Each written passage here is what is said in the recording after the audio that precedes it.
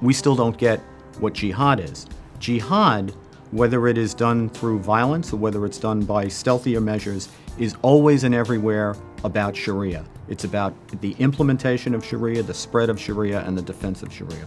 Sharia is the Islamic legal and political framework. Uh, we would like to think of Islam as just another religion, you know, just a set of, uh, of religious principles that's separate from our secular societal life. It's anything but. It's a full service, comprehensive political, social, and economic system, a military system, that happens to have some spiritual elements. But its ambitions are actually authoritarian in the sense that you have a, a central Islamic state that controls everything. And it's totalitarian in the sense that it really does want to control everything. Is Every it aspect. geopolitical in scope? Yes, absolutely. Every aspect of life. The threat to us is much bigger and broader than just terrorism. And it's, it's really a march through our institutions, whether it's our political institutions, the law, uh, our whole society. There is a law in Sharia that says it's obligatory for a Muslim to lie if the purpose is obligatory. So if your purpose is It to do- authorizes, under Sharia law, the ability to lie to get the end mean. It doesn't authorize it. It obliges you. You to must. Lie. You must lie if your purpose is to promote Islam. And this is called taqiyya? It's called taqiyya, but it's more than that. It becomes automatic in our character as Muslims to defend Islam. It, the reputation of Islam, its ability to grow, is the most important thing. Islam is always looking at growth in numbers. And the key thing about Sharia, which makes it even worse than if you leave it in the hands of government, is that any Muslim who recognizes that a person has committed apostasy, Which means just leaving the religion. just leaving the religion, you, you will be forgiven if you kill, if you kill them. a, a, a- an apostate Muslim is worse than an infidel. They can tolerate a Christian or a Jew as the people of the book or the barely. Uh, but even if they can tolerate those, they must never tolerate an apostate, somebody who turned his back on Islam.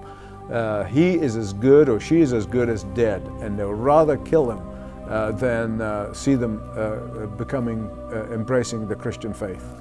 And that's why a former Muslim or somebody who doesn't want to practice Islam anymore, they're not just scared of the Islamic government or the Ummah or the state, the Islamic state. We are scared of anybody on the street. In order to get a first-hand understanding of what it means to live under an Islamic regime, but also to understand what radicalization means to the region, I thought it'd be good to talk to someone that came from that environment, that knew it firsthand, not just reading about it, but from personal experience. Tass Saada has actually served in that regime. Now he, of course, is the founder of a great ministry called Seeds of Hope right there in the Middle East. Prior to this, he served as a sniper for Yasser Arafat. Islam have an agenda, a very clear agenda, Islamizing the world. And they're Islamizing the world. Absolutely. And they're going to implement Sharia law. Sharia law is the toughest laws you'll ever encounter in your life. They are able to implement that in, in, in, in London, in England. And they are working on that in America. And what they're trying to do is see how far they can get before there's pushback. And as long as there's not pushback, they'll keep pushing. And it's interesting, they're very good at figuring out what the weak spots are. So in Europe, what we see are these physical enclaves that dot the landscape. No-go zones where the police have basically, the states have, have ceded sovereignty to the Islamic authorities. In the United States, we haven't seen much of that yet, but they realize the law, lawfare, is the, is the way to go here. Uh, so what they're obviously trying to do is get Sharia legitimized subject matter by subject matter in our law. So it's, it's in our financial system, domestic relations, employment relations, and that's how it will gradually progress. So we can't afford as a country to just ignore this. No. We do a- it at our own peril?